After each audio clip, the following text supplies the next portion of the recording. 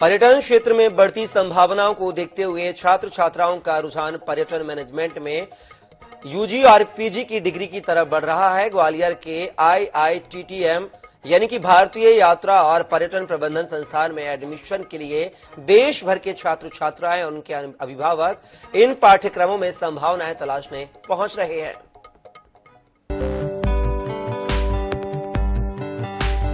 BBA और MBA course में भी टूरिज़्म ने अपनी धमक देनी शुरू कर दी है।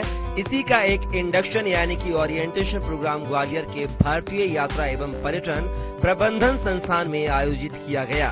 पर्यटन के क्षेत्र में प्रवेश कर रहे छात्र छात्राओं को संस्थान की गतिविधियों, परीक्षा प्रणाली और संस्थान में उपलब्ध सुविधाओं के बारे में जानकारी दी गई।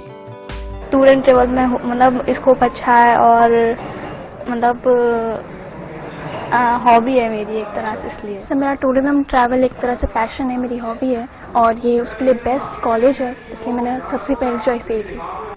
ग्वालियर के आईआईटीटीएम का देश के राष्ट्रीय स्तर के संस्थान जेएनयू यानी कि जवाहरलाल नेहरू यूनिवर्सिटी से हाल ही में एमओयू भी हुआ है। इस तरह जो डिग्री दी जाएगी वह जेएनयू की ओर से दी जाएगी। ओरिएंटेशन प्रोग्राम ये उन बच्चों का स्वागत है, जिन्होंने दिलेरी के साथ टूरिज़्म प्रोफेशन को अपनाने के लिए आईआईटीटीएम के कोर्सेज में एडमिशन लिया है। सामान्य तौर पर क्या होता है कि लोग बहाव के साथ बहते हैं। इंजीनियरिंग चाहिए मेडिकल चाहिए, और लॉ में चले जाएँगे। लेकिन टूरिज़्म प्रोफेशन जिसमें 100 परसेंट प्लेसमेंट है, साथ में स्टडी बड़ी एंजॉयबल है। एंजॉयमेंट के साथ है। चुनौतियाँ जो है, वो क्रिएटिव है।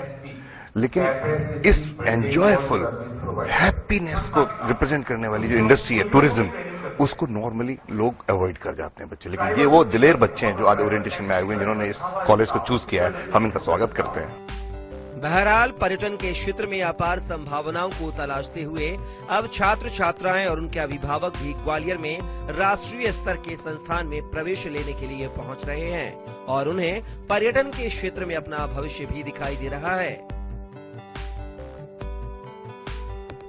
I N S twenty four seven के लिए ग्वालियर से जावेद खान की रिपोर्ट।